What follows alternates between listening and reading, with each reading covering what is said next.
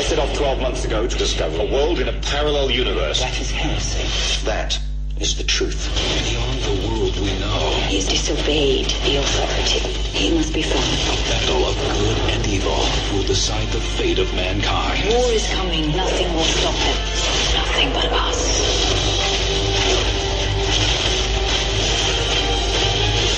You have no idea what's at stake. Rated PG-13, starts December 7th, only in theaters.